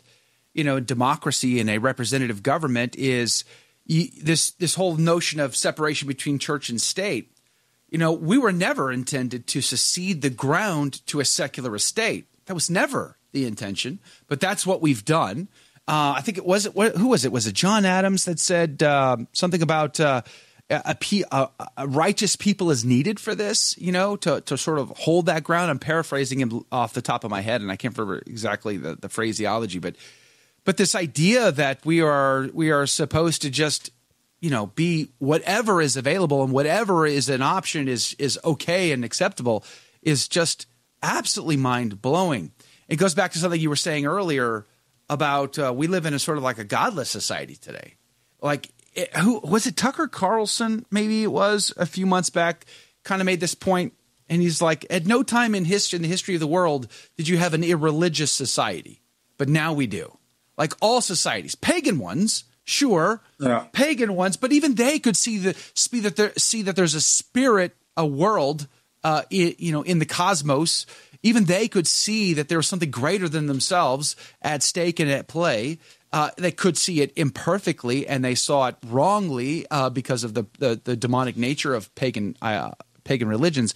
But nonetheless, they could at least see something. But today, it's been totally tossed out. And now all things are available, all things are on the table. And that truly, I would agree, is the, the era of Russia spreading across the world. And I believe we're here. I believe we're there. Do you see? I don't want to get too hyperbolic when it comes to the end times. I definitely don't want to do that. But do you, but how do we not think we're towards the end, though? Like Bishop, do you think that's reasonable? Well, um, I think, I guess the way I look at it, Joe, I think we are definitely toward the end of the civilization that we've known. Uh-huh. Um, whether it's actually the end of the world, I mean, it's. I think of the flood. Um, Yeah. And there have even been prophecies that say something worse than the flood is going to to really get our attention. but um, whether I mean, you know, whatever if that is true, I think we're in a time where you know we've heard of the Great Reset that the the globalists want, you know, to just. But I think there's a spiritual reset that is. I mean, I, you can feel it in the air almost because I mean, like you were just saying, uh, if you believe in God and you know that we're talking and breathing because God wills that we have life in Him at this moment, to for the globe to basically say we don't even believe we don't believe in God and we're not even going to acknowledge the question. Um, I think that can only survive for so long because you're living in a make believe world. You're living in a false scenario, and the truth is what prevails. The false messages always collapse eventually. And, you know, I think that's where we are. Uh, what that looks like, I don't have any prophetic knowledge, but, and that's why I've said, I guess my, through prayer, my reaction to all of this has been be prepared as I said in my most recent letter, for Catholics, be prepared. Examine your conscience, go to confession, uh, get your spiritual house in order, and yes, get your physical house in order to a, a reasonable degree. Don't just presume that everything's just going to keep humming along the way it is. I don't believe that's the case. And even if the, the physical world does continue to hum along, or at least sort of, you know, drip along with, you know, a lot of calamities and all, even if there's no dramatic event in the world, we all need to be ready for the dramatic event at the end of our lives Yeah. and ask ourselves, am I with God or not? I mean, that that's the question. And that's the question the church should be asking. But even the church has lost her way in too many elements. I mean, the church is still the church. She's Christ's bride, and we have to cling to her with all our might. But um, many in the church are way off the, the track, and you know we've we've just got to remain faithful. But with your question, I think we are seeing uh, apocalyptic realities that have happened before. I mean, like the, the, the flood of Noah um, or other calamitous moments. And I think that, you know, I, I think it is global as well. I mean, as Yeah. people are pushing this global society, this global church that really isn't a church at all, all these global things remind us that, I mean, you know, the Roman Empire collapsed. And that was the end of the world for a lot of those people, at least in in anything that life was totally different. But it is global in the sense that it's not it's not just the United States, uh, but it's in the the world is is facing this. Where we go, uh, what prophecies are actually accurate to what the future is, I don't know. But taking all that into account, it's it it really says to me we need to be on the alert, not Yeah. fearful, but on the alert and ready to to stand with the Lord, to stand with the truth that God has revealed to us, no matter who, even within His church, are telling us differently. We need to stand with the Lord. Yeah. there's so much. It, feel, it feels like there's a, a, pressure rising around the world. To your point, I mean, uh, in in South America, there's huge huge rallies down there because people are getting sick and tired of their government's overreach and uh, socialism, Marxism in, in South America. Of course, in South Africa, you know, their farmers are being murdered and slaughtered, and uh, and there's chaos down there, and other parts of Africa with warlords uh, fighting amongst each other, and the innocents being caught in between. Uh, there's plagues and pestilences throughout Africa. Of course, China, you still have persecution of the Uyghurs. You still have a persecution of the Catholics and Christians in China. And that's only getting worse. That's not getting any better. And the Vatican deal doesn't seem to to like shed any real light on on all of that. That seems to be more and more complicated and and uh, and more scandalous to the faithful along the way. And, and brinks of war, Iran and uh, and uh, the the Hamas and Hezbollah and Israel and and then of course Ukraine and Russia and you add all of this together with economic decline, collapse and global movements of migration that is unhinged.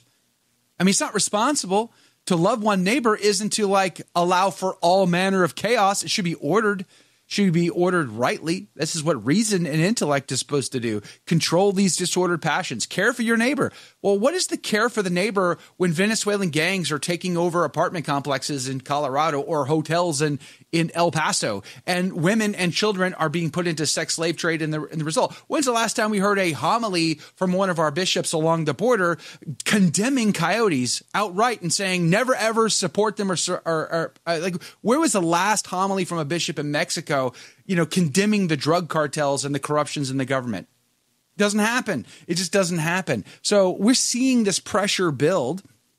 I don't think you have to be a prophet. I don't think you have to believe in Garabandal. I don't believe you have to come to any like some sort of prophetic conclusions. I just think you read the headlines and you can go, "Hey, listen, some shoe is about to drop. Eh, be ready." But I think be ready. I think that's the point. Is go to confession, live in a state of grace, pursue virtue, be obedient to your state in life, and then I guess it doesn't. At that point, you're at peace. And it doesn't necessarily matter from uh, my perspective.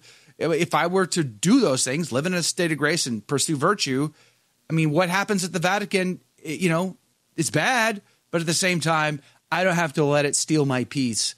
Uh, and certainly, um, I won't be judged based on the sins of Pope Francis or any of the Vatican cardinals or dicasteries or any of those things. Uh, Father Marco Rupnik, I'm not going to have to be held accountable for him but I will be held accountable for everything that I've done and said. And golly gee whiz, I got to tell you, it keeps me up at night sometimes uh, about some of the things I've done and said. So I, I just find it, I just find it very, very interesting. And I feel like, and I'd like to get your comment on this too. I feel like, like it's part of the strat, the diabolical strategy to to uh, to corrupt souls is to push us through all this pressure, politics, economy, social, societal pressure and something going, we went back to uh, a little while ago and I talked about your speech in Buffalo and about that personal relationship, recognizing Him. And um, how can we? Jesus says that uh, you know He is the way, the truth, and life. John chapter fourteen, and He is the shepherd of the flock, and His flock hear His voice and they recognize it. How can we recognize His voice if we don't know Him, Bishop? You know what I mean? Like, how do we? Like, I feel like the noise is drowning that out and because we really don't have a great relationship with him truly, his voice is becoming fader and quieter and we, we can't hear it through the noise. Like, you know what I mean? Like, I feel like we better double and triple down on that personal relationship now before it's too late because I feel like it's going to be too late. Do you think that's fair? Oh, Joe, you're, you're we're singing from the same sheet music. Uh, I believe that, and that's that's been my advice to people as I travel around. They say, Bishop, what do we do? I've said, get to know Jesus Christ and what he says and does in Scripture much more deeply in your life. I mean, one example Jesus says, deny yourself, take up your cross, and follow me. We're hearing the opposite of that from the Vatican and from many voices in the church, many high ranking prelates are saying, oh, you don't need to deny yourself. And the cross is, is you know, overemphasized. and you don't need to worry about sin. God's all merciful and God's going to forgive us and we're all going to just merrily go to heaven. So don't worry about anything. Just follow Jesus. Well, if we're hearing that from prelates of the church that we should be able to trust, but it contradicts what Jesus said and did, I'm going to go with Jesus. And and the interesting thing, Joe, one good, I mean, you know, I'm just a country boy from East Texas, but you got to use your common sense. What, in one litmus test in all this is what's the what's the harder path?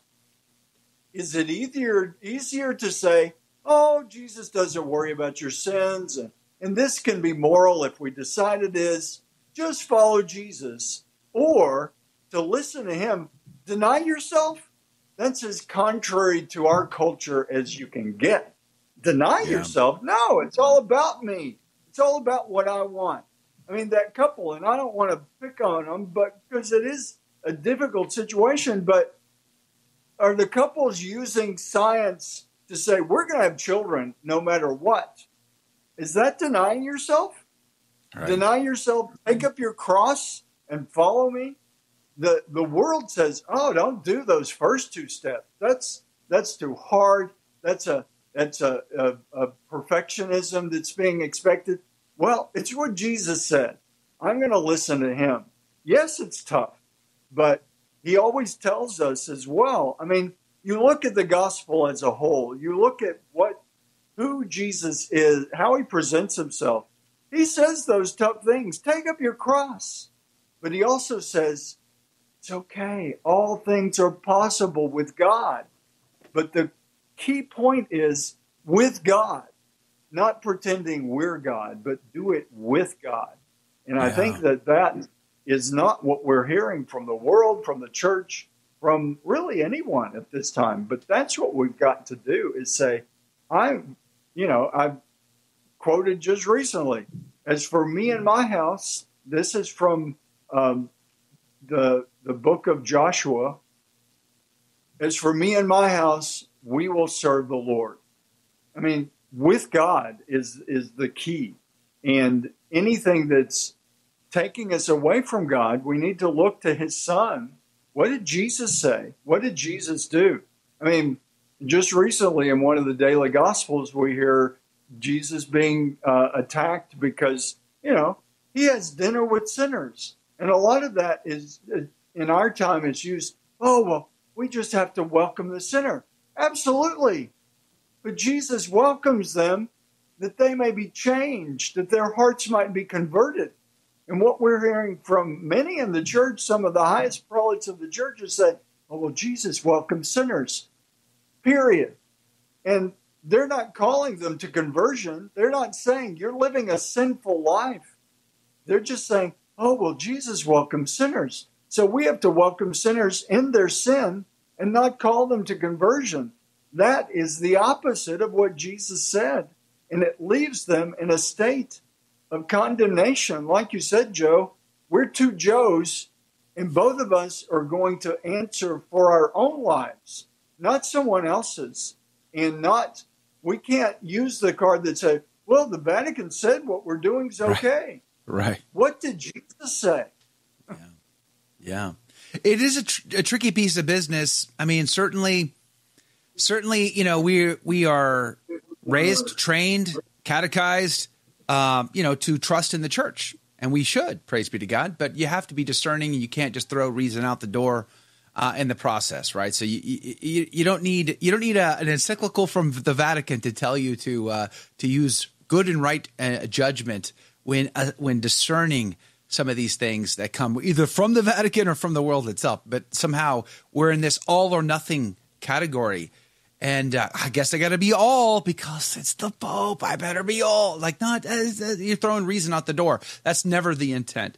That's never the intent. Yeah. And it, we just we live in this hyper papalistic stay society. with the church. Absolutely stay with the church, but remember who the church is and what the, Yeah. the actual heart of the church is the mystical body of Christ. Yeah, it's amen. not this human organization that organizes people so they can, you know, get more food and clothing. It's it's about being the mystical body of Christ. All of the rest, all of the social work comes out of being a member of Christ's mystical body. But if you're Yeah. not part of his body, then yeah, you can do things in the world, but it's disconnected from the Lord. So Yeah, all, all of our all of our works of charity should be ordered towards the salvation of souls. It's both and. It's not. E- it's not either or. yeah, You know, but absolutely. we're in a, we're in an either or condition, and we shouldn't be. It's a both and. Um, we love the immigrant, but we don't we don't love uh, it. We do, we do not tolerate an an unordered, unjust system that only creates more problems and not less. Right. So eh, that's kind of the, the world we live in. You're either 100 percent over here or 100 percent over there. Nope, I'm in the middle ground. Thank you very much. I'm holding that middle ground. Uh, let me ask you this: Do you see? Eh, in the last few years, I think I've seen more bishops. I mean, at least from my outsider's perspective, I have no real inside perspective on this, but from what I can see here and there, it seems like more bishops are like, ah, I better speak up. I better say something. Fiducia supplicans, I think, is a good example of this. More bishops are like, yeah, I can't go along with this. Sorry. I can't. I just, I better say something now. Do you see more bishops coming out and feeling like they, their conscience is bothering them and they better speak up for the truth, even if it might get them in a wee bit of trouble? Do, is that happening or am I just reading too much into that? Well, I think it is happening, certainly not to the degree that I think it should happen, but I Yeah. think it, is happening more. And frankly, not, not as much in this country as should happen, but certainly in other places. Uh, but uh, I mean, bishops are, are successors of the apostles. Wherever they are, it's the same playbook, it's the same gospel that we should be operating from. Um, that's not even the case. But and we and I tell people all the time we need to pray for the bishops to to be stronger and and to speak up more. They're, we're supposed to be shepherds. Um, some have the philosophy of oh, just keep quiet and bide your time. But I guess my response to that is, what about again the salvation of souls? What about the souls that are being lost as we bide our time? And I, to me, that that's not the way to operate. Is to, I mean, Jesus didn't bide his time; he Right. spoke the truth, and you know, multiple times throughout his ministry, they were ready to get rid of him, throw him off the cliff, stone him, get yeah. get this guy out of here. But and there was his hour came when he was to go through his passion. But Christ always, you know, spoke the truth, and I, I think his apostles in modern times need to do that more. I, I do see some coming to that, but I think it needs to be a much stronger voice that says, Yeah. we're going to follow Christ. We're not going to just in committee decide, well, we'll handle it this way. Let's just look to Christ. So one of the kind of criticisms that I've levied against the the current system in the church that we find today is that it doesn't feel, and I would love to, for you to give me your opinion on this, but it doesn't feel like like the bishop is supposed to be the father of the diocese, and the priest his son. But it, instead, it feels more like the bishop is the CEO and the priest is branch manager.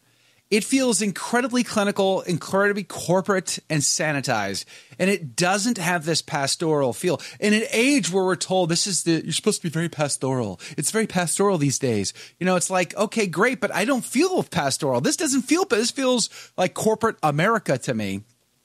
Did you like? And I've been told through some priests, friends of mine, that the process from seminary at seminary day one was they were analyzed and they were put on a trajectory. You're smart. You have potential bishop. Uh, you could be potentially a bishop someday. We're going to send you on this track. We're going to send you to Rome, get an advanced degree.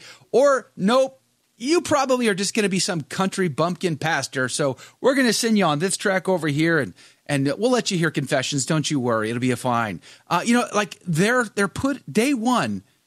They're this whole idea of this career track, this corporate America track is like built into this whole system.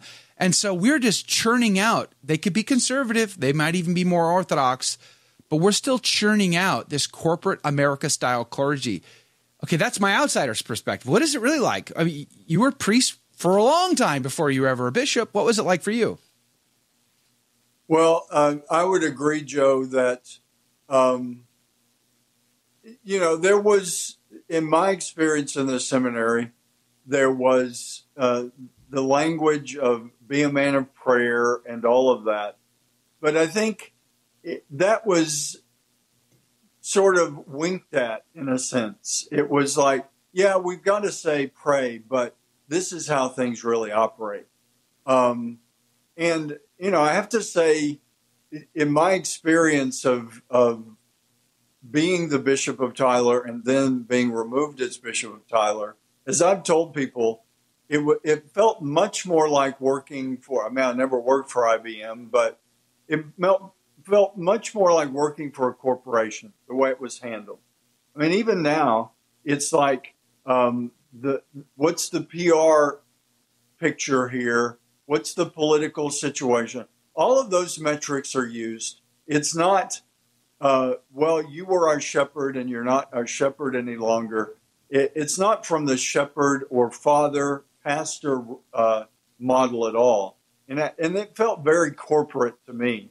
I mean, I, have told people, you know, it, it didn't literally happen, but it felt like, you know, you see these movies where so and so's fired and they, they're carrying their you know, lamp and a pencil sharpener in a cardboard box being escorted yeah. out by the uh, the security guards.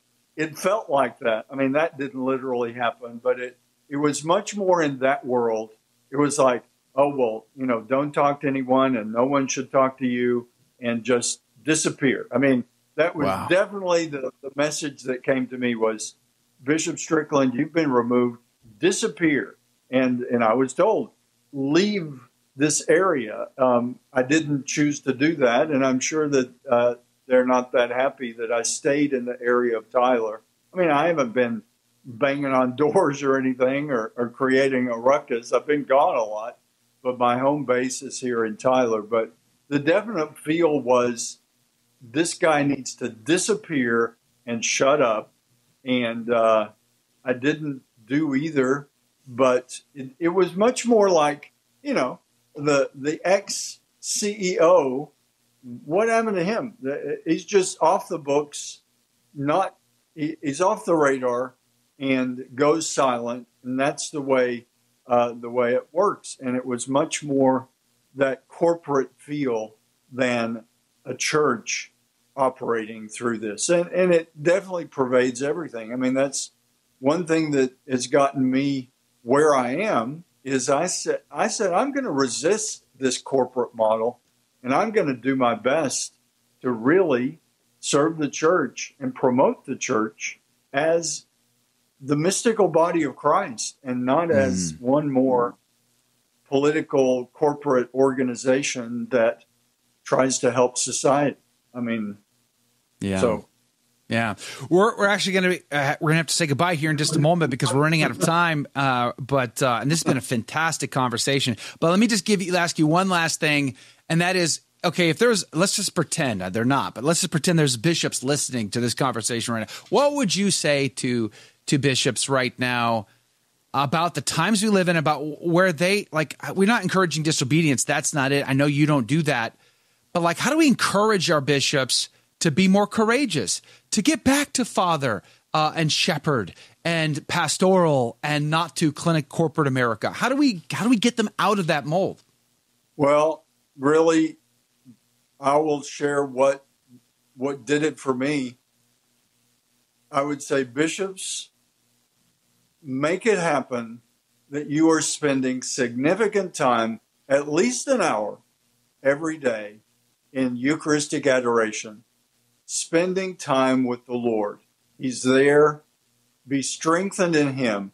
I mean, to me, priests and bishops, every all the ordained, really everyone, but especially priests and bishops need to make our Lord in the Eucharist, celebrating Mass and Eucharistic adoration, those that's the lifeblood of our priesthood.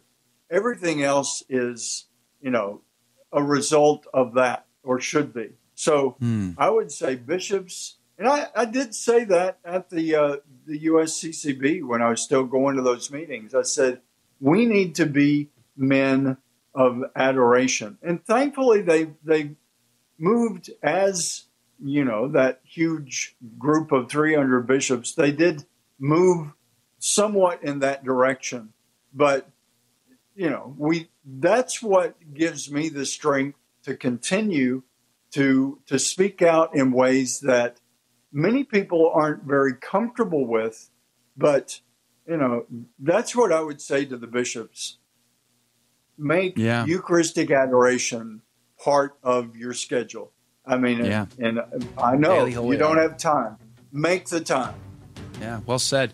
Bishop, couldn't thank you enough for your time today. Really enjoyed this conversation. I think it was inspiring to many people.